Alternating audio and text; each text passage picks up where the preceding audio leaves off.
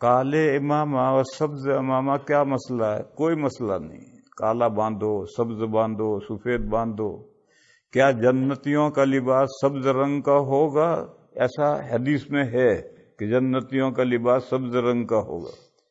अहले हदीस कहते हैं, अहले हदीस कहते हैं, अमामा नहीं पहनना चाहिए, क्योंकि हुजूर ने पहनने को नहीं कहा।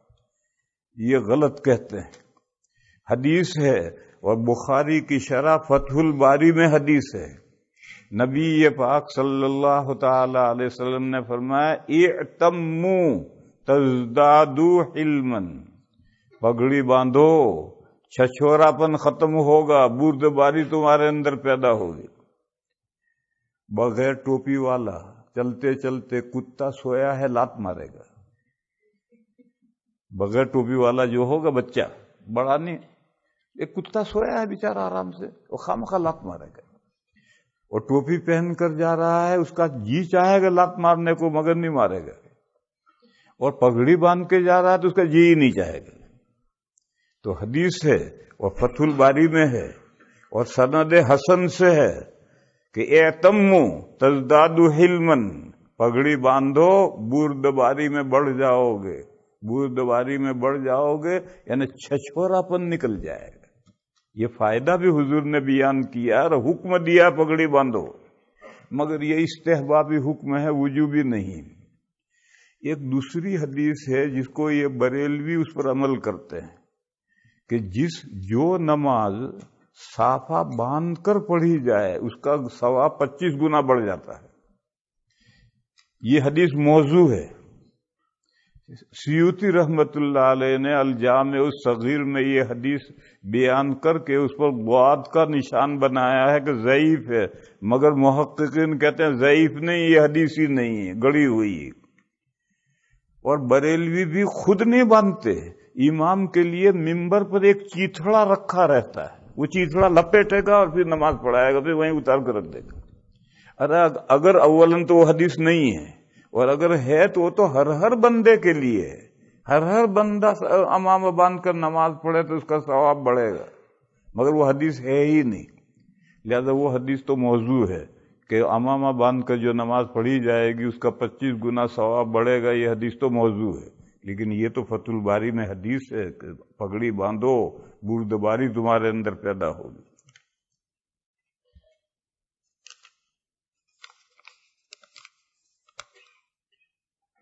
ये तो आ गया था भाई शादी के बाद औरत के लिए अपना सरनेम बदलना ज़रूरी है या नहीं? मंगनी के मौके पर घर में फ़ंक्शन करना जायज़ है या नहीं? करो भाई फ़ंक्शन, कौन मना कर रहा है? लेकिन उस फ़ंक्शन में लड़का लड़की जो बेपर्दा एक दूसरे के साथ मिलते हैं, ये सही नहीं। फ़ंक्शन करो, गुड़ गुड़ बांटो। हमारे यहाँ भी गुड़ बांटते हैं। आपने दो दिन पहले फरमाया था कि फ़र्ज़ नमाज़ के बाद इज्तमाही दुआ नहीं है। फिर भी इमाम साहब रोज़ाना इज्तमाही दुआ करा रहे हैं। इज्तमाही दुआ नहीं है। इमाम साहब कभी कभी जहरन दुआ कराते हैं, वो इज्तमाही है। और गाह बगा जहरन करने में कोई हरज नहीं। बाकी हमेशा जहरन नहीं। अपनी अपनी करो। अब सबके हाथ एक साथ उठे हुए हैं, इससे इज्तमाही दुआ नहीं हुई। फ़र्क समझो। सबने हाथ उठा कर मैं अपनी कर रहा ये अपनी कर रहा ये अपनी कर रहा ये अपनी कर रहा ये इज्तमाही दुआ नहीं है। इज्तमाही दुआ क्या है? मैं जहरन कहूँ और सब आमिन कहें। ये इज्तमाही दुआ है। और वो कोई ख़ास मौका है? मसलन किसी के इसाल सवाब के लिए कुछ पढ़ा गया और फिर दुआएँ मगफरत करनी है। बारिश नहीं हो रही, दो बारिश के लिए दुआ करनी है। ऐसे ख़ास ओकेजन पर इज्तमाही दुआ साबित है। लेकिन हमेशा नमाज़ के बाद में इमाम चंद रब्बाना पढ़ता है और बाकी सब चुपचाप रहते हैं आमीन कहते हैं या नहीं कहते, ये नहीं। नमाज़ के बाद हर एक को दुआ करनी तीन नमाजों के बाद तो अजकार करने हैं, जिनके बाद सुन्नतें हैं, उसके बाद हर आदमी को अजकार करने हैं।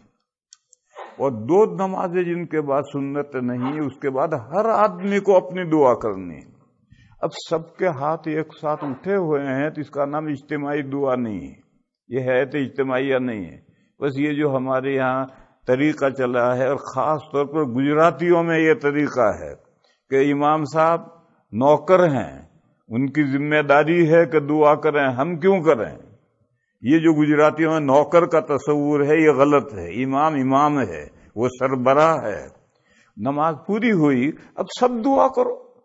सबका रब अल्लाह है, और हर एक की हाजत अलग है, और हर ज़ुबान अल्लाह ने पैदा की है।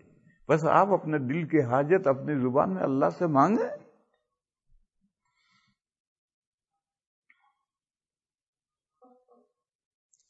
जब उलमा के लिए इतनी आसान बात याद इख्तियार करना मुश्किल है तो उम्मत के लिए पर्दा करना या इस्लामी लिबास पहनना कैसे आसान हो जाएगा? सब आसान है।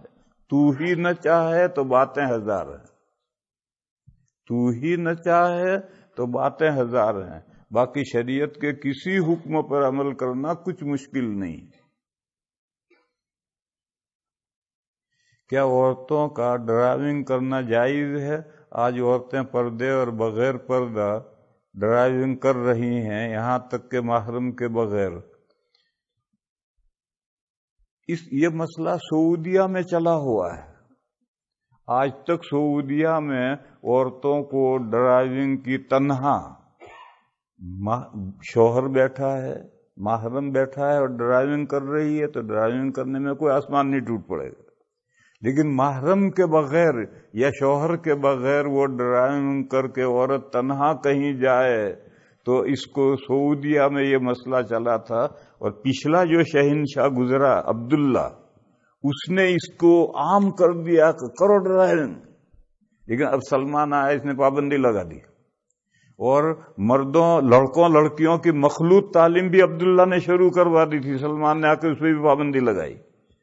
इसलिए ड्राइविंग करने में तो कोई हर्ज नहीं है, लेकिन साथ में शोहर या महरम चाहिए। और अगर वो मसला है कि तीन रात दिन का सफ़र, यानी 48 मील का सफ़र शोहर और बीवी के शोहर और महरम के बगैर औरत नहीं कर सकती तो ड्राइविंग का भी यही हुक्म है। उससे कम में फितने पर मदार है। अगर फितने का अंदेशा है तो जायज़ नहीं है। साथ में महरम या शोहर चाहिए। फिर ड्राइविंग करे, कोई हरज नहीं। लेकिन रास्ते में गाड़ी खराब हो गई और औरत के साथ कोई नहीं है तो क्या करेगी? एक्सीडेंट हो गया तो पुलिस को बुलाएगा बात कौन करेगा? उसी औरत को करनी पड़ेगी बात।